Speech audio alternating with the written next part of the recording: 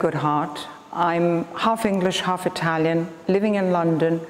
We came five years ago to Rachol Seminary, invited by Father Rector Alessio Meneses, who inquired if we could help him with the conservation of the artifacts here in the seminary.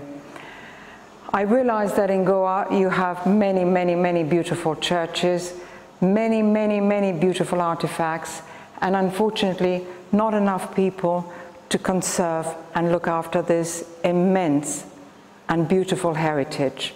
So we said yes, but we were quite frightened by the daunting prospect of conserving and sometime restoring. Conservation and restoration is teamwork, uh, and you have to work with a group of varied individuals and different professions to carry out a successful conservation attempt. And uh, we have been very fortunate to have formed this group, which is called Restoration Studio Goa. And uh, within our team, we have different specialities. We have Sandesh and Ebony, who are fine artists. We have Joe, who is a chemical engineer, who helps us with different kinds, sourcing different kinds of materials and solutions that we need.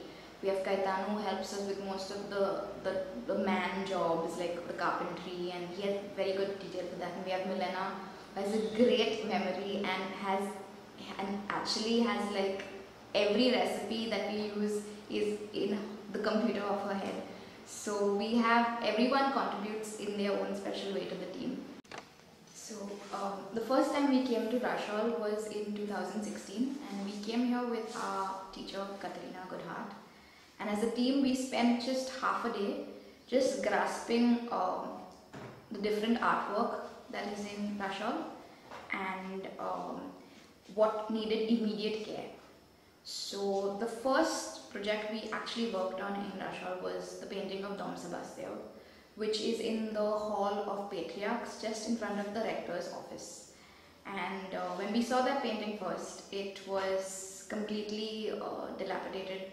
There were big rips in it, there was hard varnish, it was uh, in a really bad condition. And moreover, why we started off with that painting it was also because on prompting of the rector that it Dom Sebastião was the funder of this college um, through the Jesuit uh, priests and there were there are very they, they say there are three of such paintings and one of them is this. This is the photo of this painting before doing the restoration. You can see how how the state of the painting was. There was a cut here from in between and there were many holes and I think it was not looked up to maybe from the beginning nobody touched it only uh, restored once. And this is how it is and you can see there also what we found out was that this painting was I mean someone had worked on it before we came here and was stitched up in a certain way that posed a lot of problems the canvas was pulling, uh, there was dust from I don't know how many years that it hadn't been cleaned. So the first thing for us to do then was to stabilize the painting. Before we could even like you know start re-cleaning or anything, we uh, had to sort of flatten it down. And uh, this painting was actually the work of uh, an entire team. There was the London School of Picture and Frame Conservation, which is where we study as well. There was Piero and his team, which is his wife, who was also here, who helped us a lot. And there were different batches of different students from across the world that actually worked on this particular painting.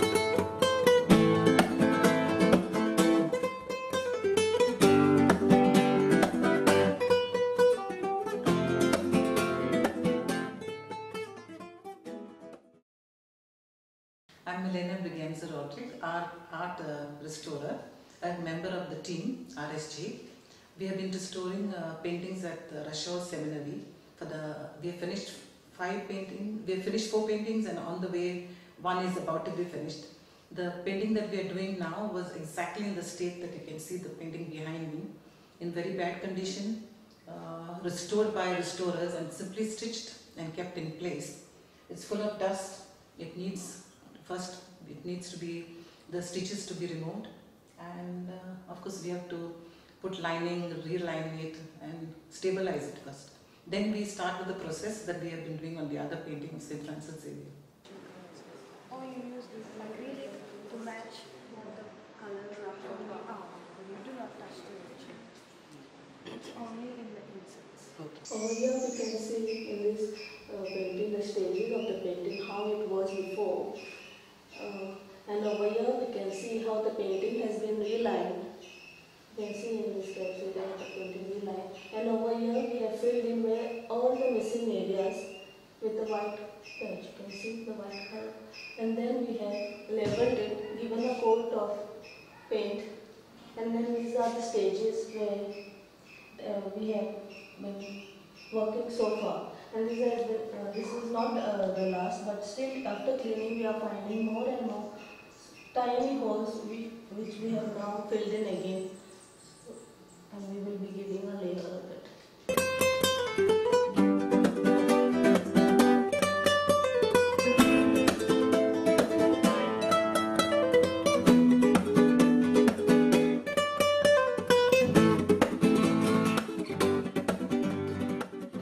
This is a portrait of St. Francis Xavier levitating in front of many people and is a part of his um, many one of many episodes of his life.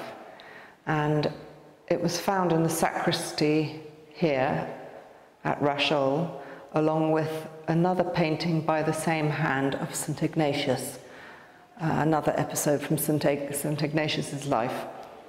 There were four paintings. Two of them have gone. They disintegrated completely, probably burnt. But these two survived just. They were in a very, very poor condition. Huge holes and uh, sort of rot had set into the canvas. There was a wasp's nest on the back of the top one. And the whole canvas had been nailed through by the frame, so it was sandwiched between its stretcher and the frame. So the frame has become a kind of integral part of the image. But the painting was like this. So then we have to flatten it, which Sheila and Ina have been doing with the flattening with uh, blocks of weight, tiny bits of damp. Um, Sometimes we have to put a very mild heat on it through newspaper. And then when it's completely flat, it'll be ready for relining. Before we reline, we have to deal with all these big holes. Now, if they're small holes or tears, we can just try and keep them together like this with Japan paper. We use Japan paper as that paper there. It's very, very fine and it doesn't show. It doesn't show through the surface of the front. But with the very big holes like this, you have to cut a patch exactly that shape. So Sheila and we have been creating, as Sheila, as Sheila it's an archipelago of, of patches, which will go all the way around, and they fit exactly in that hole. And then they're taped on. And then, finally, when it's all flat and finished and the, the seam is ready and secure, we can then put a brand new canvas on the back. The brand new canvas is ready, it's been linen which has shrunk, and then we shrink it again, so we know that any moisture is not going to do this, make it move. There's glue on the back, the very old recipe, 300 year old recipe from Italy, which has a tiny bit of um, insecticide in it, nipagine, which is like a, like a disinfectant, so they're not going to eat it and then that goes onto the back. It's completely smooth, like St. Francis. He's got a lovely brand new canvas back. This had to be relined completely in 2016, and the pair to it, St. Ignatius, has been relined. Sorry, that was 2000, 2018, and so St. Ignatius was relined this year to 2020. So two years between the two relines, and that's how long it has taken really to get this painting up to this amazing standard that it's in now. So all the tears and all the holes have been supported by the relining, but the filling and the very careful retouching of that filling and cleaning the original painting whilst not touching the original painting have been done by the students here who have been taught by the London School of Picture and Frame Conservation. There are a lot of missing paint areas where we have filled in and uh, leveled it and given a texture so that it matches to the original canvas of the painting. We have given a single coat of retouching to it and uh, we, are, we are almost at the stage of completion of this painting. So the problems that this painting presented were numerous. You had, apart from the extensive damage, you had to treat the wood, you had to treat the stretcher, you had to make sure that there were no more um, insects that could eat any more canvas, and insects wouldn't want to eat the new canvas, which is placed on the reverse. The retouching was done in water-based colours, but as I say, the original painting wasn't touched at all. It was then varnished a year later, after giving it time to sort of settle and uh, see what colours were coming through. And the retouching is done on top of the varnish if there were any problems in the original image. The really interesting thing about this painting, because it's a religious painting, you can't really expect to find a signature, but is trying to sort of guess the age. We have hints with the architecture and the decoration, the tabernacle here, which is gilded with pure gold, and of course, the image looks largely about a Portuguese saint with Portuguese followers. However, the textiles here on the front of St. Francis Xavier and the altar cloth are uniquely Indian. They are not Portuguese. The men on this side have very distinct features, strong noses, strong faces, good thick beards and moustaches. And um, the, the fashion is from about 1590 through to about 1610. On this side, however, we discovered after really close examination from basically the Indian team who were restoring it and from us as well when we came in to look at it more closely, it's evident there's been overpainting on this figure here. And just underneath that overpainting is the sign of a lace collar that went all around this figure. And what is not a halo but probably a headdress with a veil. And also the shadow of what would be the sleeve of a dress and the line of the dress which went all the way down here. And here at the bottom we see the folds of the original dress at the bottom of uh, where it was lying on the floor. We then look a bit closer and we see that all these faces are quite different from the men's. They have not quite as strong, prominent noses, and their hair is tightly curled, which was the fashion for women then. So we think that this group of people were probably all women. Even these two at the back, which look more like men, we feel that these faces and hair have been overpainted. To be absolutely sure, you'd have to use a very expensive and complicated process of reflectography, which is where you can photograph the image through the layers of paint to see what's underneath. Um, but what we're going to do is try and take tiny, tiny paint samples the size of pinheads and have them tested um, back in London to see if we can age the paint and date the picture that way.